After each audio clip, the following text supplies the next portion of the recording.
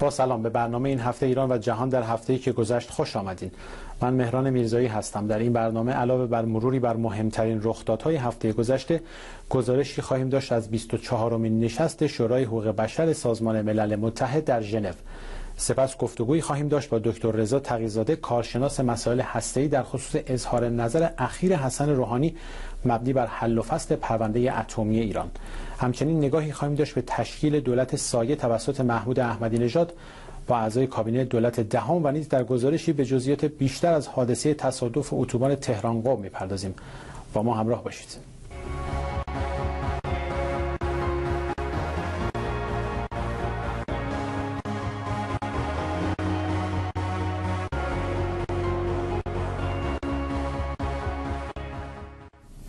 روز دوشنبه نهم سپتامبر 2013 24 امین نشست شورای حقوق بشر سازمان ملل متحد در شهر ژنو آغاز به کار کرد. این اجلاس تا 27 سپتامبر 2013 ادامه دارد.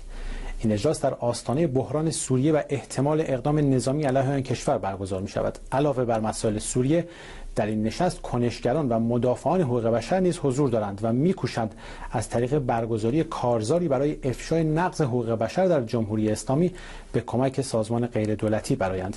همزمان با برگزاری جلسات شورای حقوق بشر تجمعاتی نیز در برابر مقر سازمان ملل متحد در شهر ژنو برگزار می شود تا موارد نقض حقوق انسانی در جمهوری اسلامی را روشن کنند. یاور یزدان پرست و جزئیات بیشتر.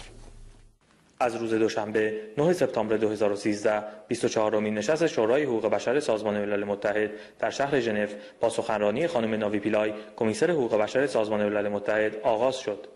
همزمان با اولین روز آغاز به کار شورای حقوق بشر کارزار افشای نقض حقوق بشر در جمهوری اسلامی ایران به برگزاری اجلاس موازی با حمایت و تدارک سازمان غیردولتی سودویند پرداخت سازمان غیردولتی و اتریشی سودویند در همکاری با همراهان ایرانی خود از سال 2010 در شورای حقوق بشر از طریق تنظیم موضعگیری ها و تدارک اجلاس های موازی در مورد وضعیت حقوق بشر در ایران فعال می باشد. در همین راستا و بنابر گزارش سودویند اولین نشست موازی کارزار افشای نقض حقوق بشر در جمهوری اسلامی ایران در جریان اجلاس جاری در شهر ژنو با موضوع گروه های قومی و محیط زیست در جمهوری اسلامی ایران به مدیریت خانم جال تبریزی برگزار شد. آقای ناصر محتشمی یکی از سخنرانان این نشست بودند که با موضوع آیا اعدام می تواند به کاهش جرم و جنایت کمک کند به زبان انگلیسی برای حضار به سخنرانی پرداختند آقای یوسف کور دیگر سخنران این نشست بودند که با موضوع حقوق بشر و موارد نقض آن در ترکمن صحرا برای حضار سخنرانی کردند. من در اینجا ابتدا به طور خلاصه در رابطه با کشتارهای بدون محاکمه در ترکمن صحرا می‌خوام صحبت کنم و در محدوده یک سال اول استقرار رژیم جمهوری اسلامی. و در این رابطه قبل از هر چیز باید بگویم که ترکمن ها در ایران از ابتدایی ترین حقوق فرهنگی و سیاسی و غیر محرومند و حقوق آنها نه تنها به عنوان اقلیت اتنیکی بلکه به عنوان اقلیت مذهبی بودن نیز پایمال می شود ناهید مکری یکی از سخنرانان این نشست با موضوع حقوق بشر در کردستان ایران و خانم اعظم بهرامی دانشجوی کارشناس ارشد محیط زیست با موضوع آلودگی آب در ایران برای حضار به سخنرانی پرداختند. از این فرصت استفاده نموده و جدیدترین مسائل جاری در نواحی کردنشین و نقص سیستماتیک حقوق بشر را در منطقه به سمع و نظر حضار گرامی دفتر احمد شهید و شورای حقوق بشر سازمان ملل متحد برسانم. به خاطر زیغ وقت تلاش می‌کنم که در جستارهای کوتاه به این بحث در دو بخش تقریبا مجزا ولی در این حال به هم وابسته بپردازم. بخش نخست گزارشی است فشرده جامع و تقریبا تیتروار از کلیت آنچه که در استانهای کردنشین و بر کردهای ساکن در مناطق مختلف ایران و در زندانها میگذرد و در بخش دوم به مسائل، مشکلات و تضییع حقوق زنان کرد از طریق حکومت به صورت مستقیم و غیر مستقیم می‌پردازم. در بخش نخست این گزارش توجه شما را جلب می کنم به وضعیت دشوار کار و عواقب آن برای روزنامه نگاران و فعالین حقوق بشر کرد برای مسکوت گذاشتن نقض حقوق بشر در این مناطق. عدنان حسنپور قدیمی ترین زندانی روزنامه نگار در ایران آقایان محبوس در زندان برادران کرتفور و جناب کبودوند به عنوان چهره های برجسته مطرح و شناخته شده این عرصه می توانند بیانگر وضعیت ناگوار موجود برای فعالین کمتر شناخته شده در این عرصه باشند. در مورد کارخانه ها و پساپای صنعتی در 95 درصد موارد و در مورد پساپای حاصل از کشت و زر در 100 درصد موارد تصفیه اتفاق نمیافته. تنها در یک مورد می‌تونیم بگیم که از طریق رود کارون الوند و بهمنشیر سالانه 185 میلیون متر مکعب فاضلاب و پساب به خلیج فارس ریخته میشه. آلوده کردن آبها از یک سو و برداشت بیرویه و بیبرنامه آبهای زیرزمینی و سدسازی های بدون پیش بینی و برآورد سنجی های نامناسب از سوی دیگر گلوگاه های زیستگاه ها و منابع آبی رو گرفته فشار میده و به گفته وزیر نیرو آبهای زیرزمینی جز مناطق منابع استراتژیک ما هستند و خود ایشون اعلام کرده که در معرض آسیب جدی هستند و اعلام کرده که اگر چهل سال پیش با حفر پنجاه متر در استانهایی مثل خراسان و چهارمحل بختیاری به آب می رسیدیم امروزه در عمق 350 متری یا 300 متری هم به همون آب نمی‌تونیم برسیم. اما پایان بخش روز اول همراه بود با سخنرانی حمدالله سلیمانی با موضوع دریاچه ارومیه و علی سعیدی با موضوع اعدام و تخریب محیط زیست در شهر اهواز. با خوشچاندن دریاچه ارومی ارومیه در سرزمین من در زادگاه من در جریان است به گوش جهانیان برسانم. دریاچه رومیه در شمال غربی ایران و بین دوستان آذربایجان غربی و شرقی قرار دارد زمانی یکی از زیباترین و بزرگترین دریاچه های شور و از نظر محیط زیستی و بیوسفری یکی از منحصر به فردترین دریاچه های جهان بود.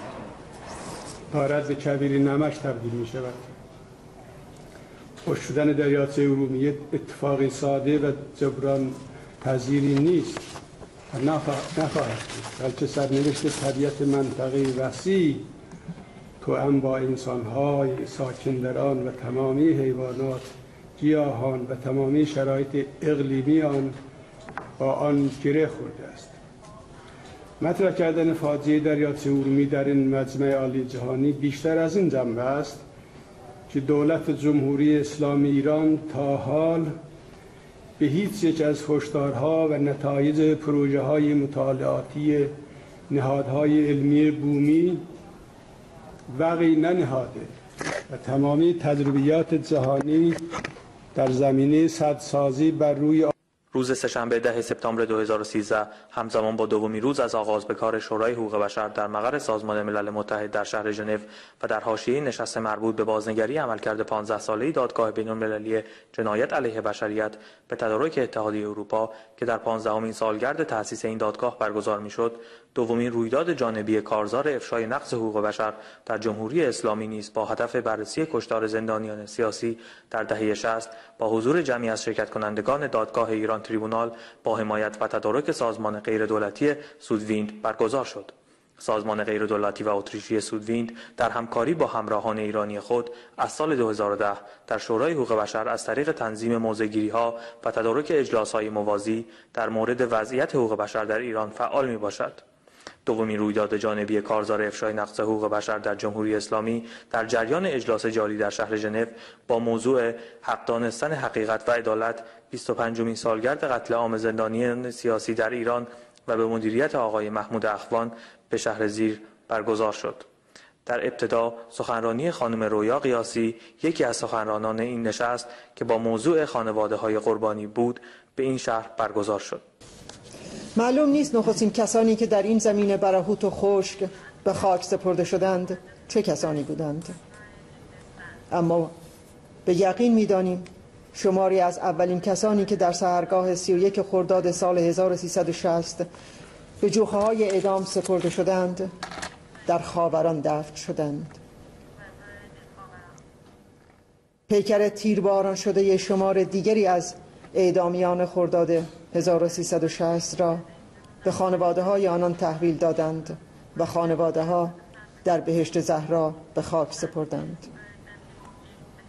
اما بیشرمی بیشرمی بیش از این بود.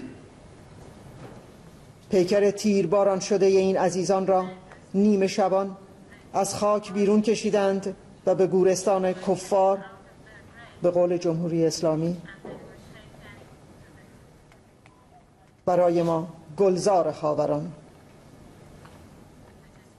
برده شد و در آنجا در گورهای بینام و نشام به خاک سپردند مختار شلاوند با موضوع سرنوشت برادرم به اعدامهای دهه شست در زندانهای جمهوری اسلامی از جمله اعدام برادرش اینگونه اشاره می کند. وقتی به عنوان یک ناظر بیطرف به کشتار و گروگانگیری کمپ اشرف در کشور سالس عراق به عنوان پناهنده 52 نفر از اونا بی سلاح و بی دفاع کشته میشن و هفت نفر رو گروگان می‌برن. به این نتیجه می‌رسیم که شجره خبیسه قاتلان و اسیرکشان تکرار می‌کنم اسیرکشان هنوز در صحنه جمهوری اسلامی فعال هستند و به وظایف شرعی خودشون ادامه میدن و در نهایت طبق آماری که مقام خود خمینی آقای منتظری بون اشاره می‌کنه لاقل چهار هزار نفر اعدام میشن که البته آمار سازمان ها و محققین چیزای دیگری هم میگه بیش از اینا.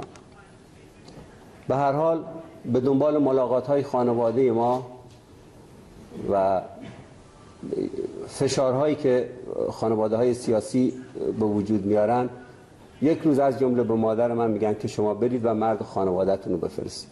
مادر من میگه ما که دیگه مردی تو خانوادهمون وجود نداره. اینه که یه برادر مریضی داشتم به همراه کسی دیگه میره و میگن که آره. ادام شده و یه ساک دستی از اون جام مونده که میدن که شامل یه تیشرت ورزشی بود و چند عدد زیرپوش و درون اون ساک از جمله یک کار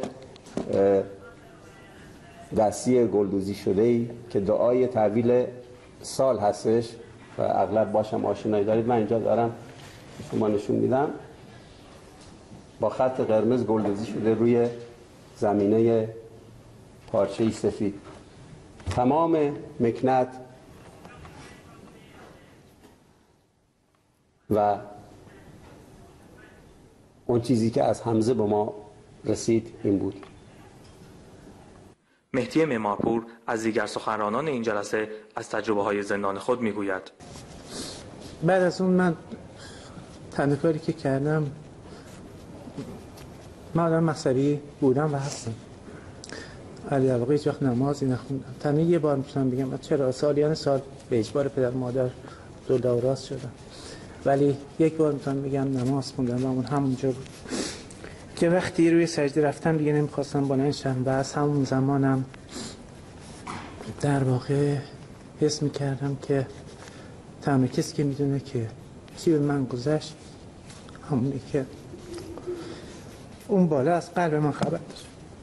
اما در ادامه سخنرانی آقای امیر نیلو با موضوع دقایق قبل از اعدام او به شرح حال وضعیت روحی زندانیان سیاسی دهه 60 در لحظات قبل از اعدام می‌پردازد.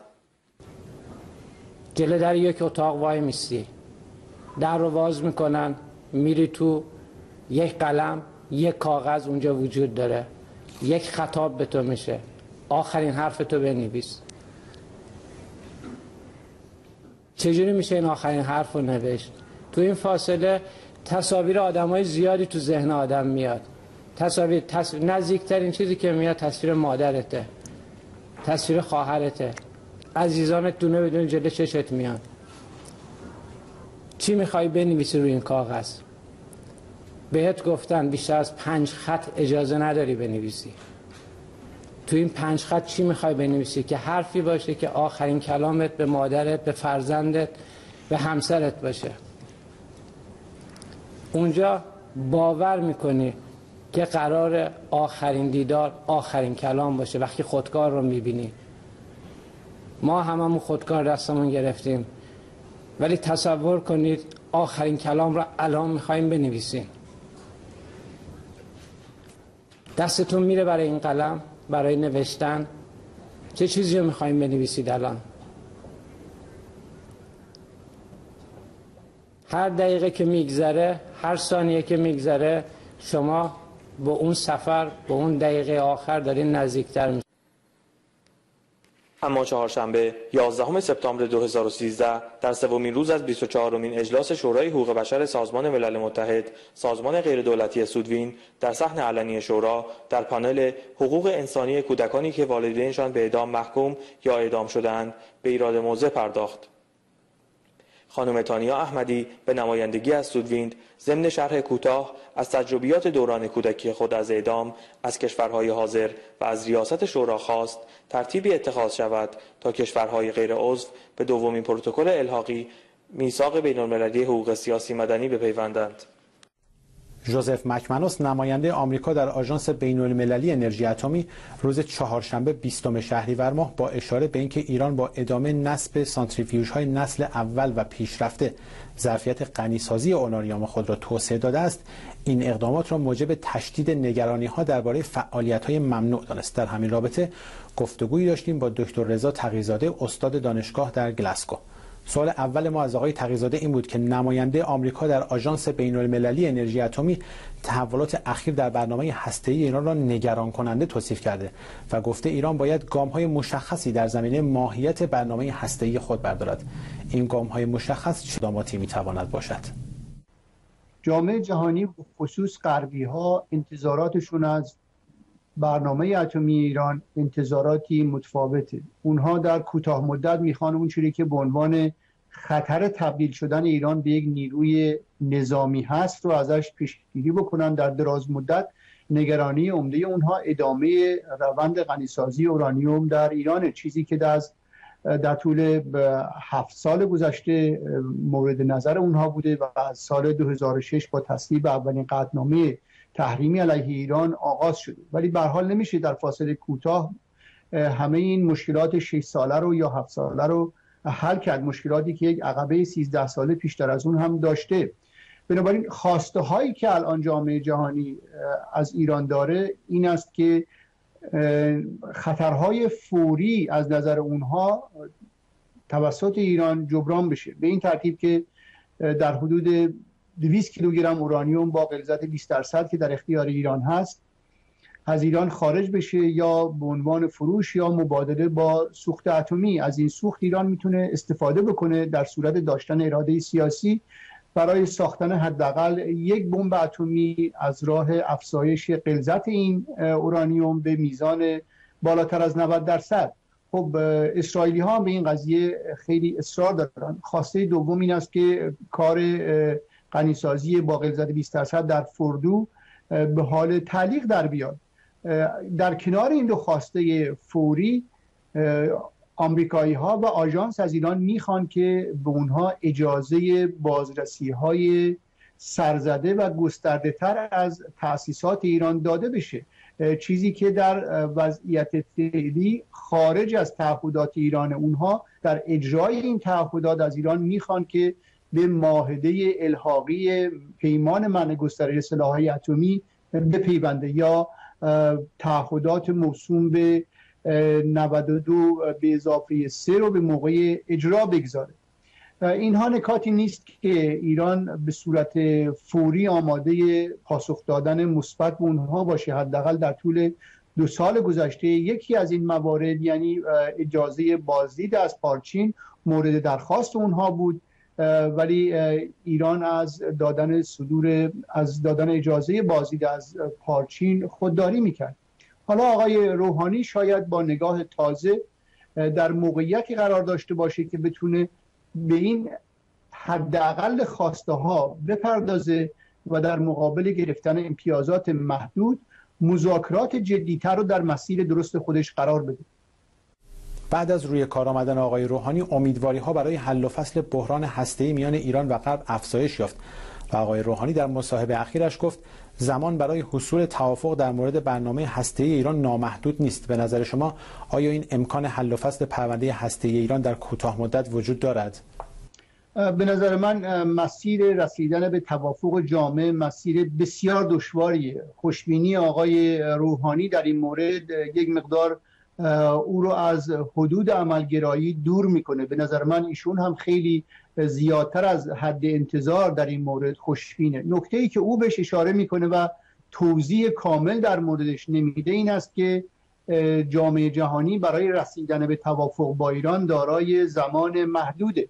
یک نکته ای در ذهن آقای روحانی هست و اون پیروی از چیزی است که در ایران و همینطور آژانس از اون به عنوان مدالیته مذاکرات فنی ایران با آژانس یاد می‌کردن که یک جدول 60 روزه در زمان دبیری آقای علی لاریجانی در شورای امنیت ملی مورد استفاده قرار گرفت و در فاصله 60 روز یک جدول زمانمندی شده در اختیار دو طرف بود که ابهام های آژانس در مورد فعالیت های اتمی ایران رفع بشه. حالا آقای روحانی می‌دونه که رفع تحریم ها تحریم های شورای امنیت علیه ایران و همینطور رفع تحریم های یک جانبه آمریکا و اروپا در کوتاه مدت امکان پذیر نیست.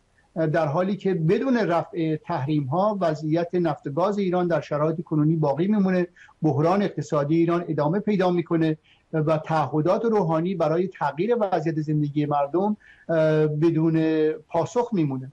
بنابراین او می‌خواد با کوتاه کردن زمان مذاکره رسیدن به زمان لغو تحریم ها رو جلو بندازه. ولی در این مورد توضیح نمیده که این زمان کوتاه در حقیقت زمانی است که باید به ایران داده بشه نه به جامعه جهانی.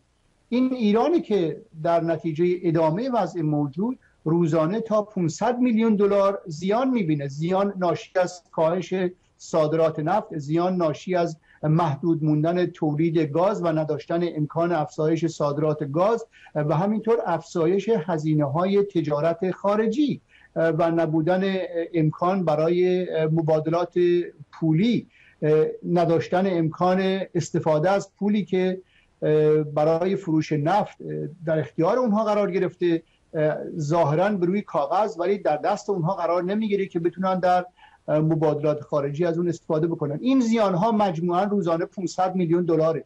با هزینه کردن ذخیره کردن دو روز از این هزینه ها میشه یک راکتور در اندازه های بوشهر رو به صورت پکیج خرید. بنابراین این ایرانه که در شرایط خاص قرار داره و نه غرب و نه مشتریان سابق نفتی ایران. اگر دو سال پیش ایران صادرات نفت خودش رو قطع می‌کرد با داشتن ظرفیت تولید 4.2 میلیون بشکه در روز می‌تونست به اقتصاد جهانی و به بازار نفت لطمه بزنه. ولی امروز که ایران صادرات نفتش به 600 هزار بشکه کاهش پیدا کرده صادر کردن یا نکردن نفت زیانی به مصرف کننده و وارد کننده اروپای غربی که امروز وارداتش به صفر رسونده از ایران نخواهد زد. بنابراین زمانی که آقای روحانی به اون اشاره می‌کنه در حقیقت اشاره به محدود بودن وقت ایران برای رسیدن به توافق با جامعه جهانی است. شاید اون در لفافه به نوعی به مسئولین اصولگرا در داخل حاکمیت ایران هشدار میده که در راه انجام مذاکرات اتمی مانع تازه ایجاد نکنن و اجازه بدن که این تعامل صورت بگیره و در نتیجه تعامل تحریم ها از علیه ایران زودتر برداشته بشه. قرار است آقای ظریف با خانم اشتون در حاشیه مجمع عمومی سازمان ملل در ماه جاری دیدار کنند. با توجه به اینکه مسئولیت مذاکرات هسته‌ای به وزارت خارجه سپرده شده به نظر شما آیا این دیدار می تواند مقدمه‌ای برای لغو برخی تحریم علیه ایران باشد؟ به هیچ وجه. این ملاقات فقط شکل ملاقات دوستانه در حاشیه اجلاس مجمع عمومی خواهد داشت. ولی در ضمن گفتگو دو طرف می‌تونن در مورد آغاز جدیتر مذاکرات سیاسی ایران با گروه پنج به یک به توافق برسن و همینطور در مورد سطح مذاکرات. آقای ظریف پیشتر می‌خواست که شاید این مذاکرات حداقل در سطح وزرای خارجه صورت بگیره در حالی که انجام چنین مذاکراتی با ایران پیشتر سابقه نداشته. فقط به صورت استثنایی در سال 2003 یک مورد وزرای خارجه سه کشور بزرگ اروپایی یعنی بریتانیا و آلمان و فرانسه عازم تهران شدن و قرارداد یا پیمان یا توافقنامه معروف سعدآباد رو امضا کردن. بعد از اون سطح مذاکرات حداکثر در سطح معاون وزیر و یا در حد مدیران کل وزارت خارجه کشورهای پنج به علاوه یک انجام می‌شود بنابراین این خواسته آقای ظریف در این حد انجام نخواهد شد. و من بسیار بعید می‌بینم که امکان ملاقاتی بین روحانی و اوباما هم در حاشیه مجمع عمومی سازمان ملل دست بده. برای اینکه در این مورد هم آمریکایی‌ها پیشتر سیاست خودشون رو اعلام کردن. اونها گفتن که بالا بردن سطح مذاکرات موکول به موفقیت در مذاکرات کارشناسی و سطح پایین تره بنابراین به هر میزان که توافق بین دو طرف صورت بگیره و پیشرفتی در این جهت حاصل بشه سطح مذاکرات هم می‌تونه تدریجا بالا بره.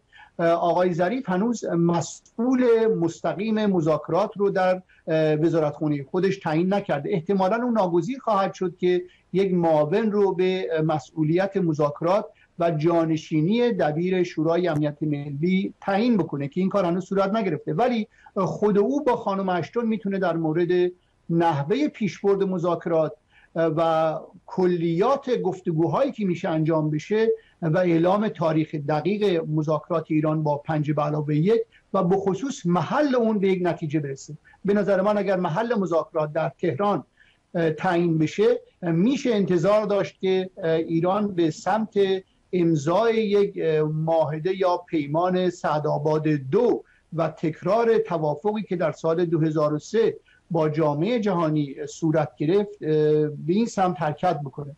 بنابراین محل مذاکرات هم از جمله نکاتی است که ظریف با خانم اشتون در فاصله 24 تا 26 سپتامبر یعنی ماه جاری می‌تونه به توافق برسه.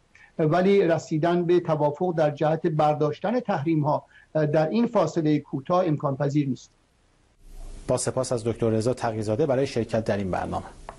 آنگونه که رسانه های اصولگرا گزارش دادند محمود احمدی نژاد با همراهی برخی از اعضای کابینه خود سومین جلسه هیئت دولت در سایه را همزمان با تشکیل جلسات دولت روحانی برگزار کرده است. به نوشته خبرگزاری فارس این جلسه که در ساختمان لادن برگزار شد همزمان با جلسات هیئت دولت فعلی برگزار می شود و به نوعی دولت در سایه محمود احمدی نژاد محسوب می شود و در آن علاوه بر احمدی نژاد و معاونانش شماری از وزرای دولت دهم نیز حضور دارند. سایت خبری روز آنلاین هفته گذشته در گزارشی به این موضوع پرداخته که با هم می بینیم ساختمان لادن که پیش از این در اختیار سازمان مدیریت و برنامه ریزی بود چند سال پیش به کنترل نهاد ریاست جمهوری درآمد و پس از بازسازی در اختیار علی سعیدلو معاون امور بین الملل احمدی نژاد قرار گرفت. و در روزهای آخر نیز به حمید بقایی سپرده شد. دفتر لادن از همان روز 13 مرداد یعنی اولین روز حضور احمدی نژاد در آن خبرساز بود. حالا به نظر می رسد در آینده باید منتظر خبرهای جدیتر از این دفتر باشیم. خبرهایی نه مبنی بر انتقال هدایای ریاست جمهوری به میدان بنک بلکه آغاز کادرسازی سیاسی احمدی نژاد در خارج از قدرت. احمدی نژاد اینک سومین جلسه اش را با اعضای دولتش در این دفتر برگزار کرده است. جلسه ای که می تواند مجمع دولت در سایه او باشد. خبر تشکیل چنین جلساتی در حالی منتشر می شود که پیش از این نیز برخی از اصولگرایان گفته بودند قصد احمدی نژاد از گرفتن مجوز برای دانشگاه جامعه ایرانیان این بوده که اطرافیان خود را برای حضور دوباره در قدرت سازماندهی کند. این برای چندمین بار در سالهای گذشته است که بحث دولت در سایه در برخی از فضاهای سیاسی ایران مطرح می شود نخستین بار پس از انتخابات ریاست جمهوری سال 84 اصلاح طلبان خبر دادند که قصد دارند برای پیگیری اهداف خود دولت در سایه تشکیل دهند. پیش از برگزاری انتخابات ریاست جمهوری سال 92 نیز اخباری از تشکیل چنین جلساتی منتشر شده بود. در آن زمان گفته می‌شد که وزرای دولت سازندگی هر ماه یک بار با هاشمی رفسنجانی جلسه برگزار می کنند و به وی گزارش می دهند و اصلاح طلبان نیز با تشکیل چند کارگروه متشکل از وزرای سابق و فعالان اصلاح طلب به خاتمی گزارش می دهند. دیدار با همکاران سابق موضوع جدیدی بین دولت مردان ایرانی نبوده و می‌توان به دیدار ناطق نوری با استانداران دوران وزارتش و همینطور دیدارهای منظم هاشمی با اعضای دولتش اشاره کرد. از این منظر شاید کار احمدی نژاد چنان هم بی سابقه نباشد. اما مسئله این است که محمود احمدی نژاد در آخرین ماههای عمر دولتش تلاشی سخت را برای ادامه حیات در فضای سیاسی کشور آغاز کرد. او در روز ترک ساختمان پاستور نه تنها اصلاح طلبان را در صف مقابل خود می‌دید که حتی به سختی مغضوب اصولگرایانی بود که تا چند سال پیش بزرگترین حامیان سیاسی او بودند دیگر دولت مردان ایرانی در هنگام ترک قدرت کمتر با چنین وضعیتی مواجه می شدند. تشکیل جلسات منظم با اعضای دولت دهم توسط محمود احمدی نژاد را از آن رو می‌توان اولین گام ها برای تشکیل دولت در سایه ارزیابی کرد که روش سیاسی او چیزی جز این را تایید نمی کند. او از نیمه های راه دولت نهم مشخص کرد که در فضای سیاسی به دنبال استقلال خود و همراهانش است.